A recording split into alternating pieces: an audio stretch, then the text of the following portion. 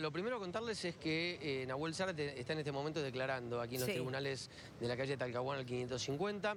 Él fue inmediatamente internado porque lógicamente el choque que él mismo provocó eh, generando la muerte de, de un hombre de 54 y otro de 55 años también le generó lesiones al mismo, con lo cual fue llevado al Hospital Santoyani y sobre todo Lore me parece que acá está el factor central de toda esta historia porque Nahuel Zárate se negó a hacer el test de alcoholemia Ajá. cuando eh, fue detenido. ¿Y entonces? ¿no? Dato fundamental que me va a servir después.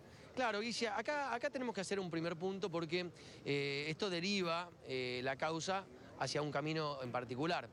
Eh, ustedes saben que el día 22 de diciembre del año 2016, la Cámara de Diputados, después de una revisión de la Cámara de Senadores, sancionó la ley de delitos viales. Una ley que promovió Vivian Perrone, Sí. después de que le matara una persona a su hijo Kevin. ¿no? Diez años más tarde, la Argentina sancionó esa ley.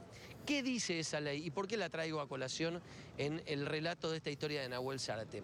La ley de delitos viales indica claramente que cuando una persona al volante mata a otra o a otras personas al volante, estando bajo un estado de alcoholemia Sí.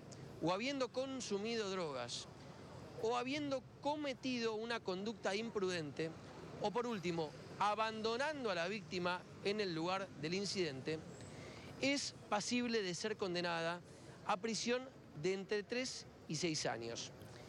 Hacemos un punto ahí. ¿Por Sí. qué traigo esto a colación? Para explicar el caso de Nahuel Zárate. Si Nahuel Zárate se negó a hacer el test de alcoholemia, está cometiendo una conducta que va en contra de la ley.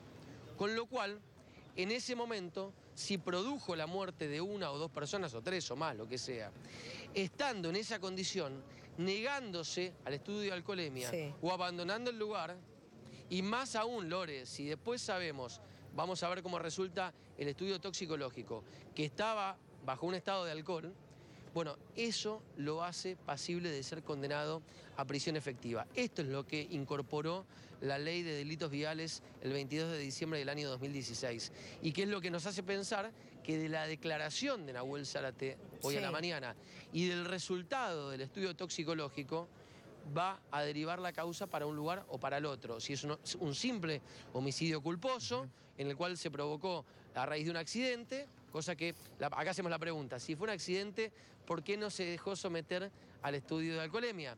Es que lo que seguramente se está preguntando el fiscal o el juez. Bueno,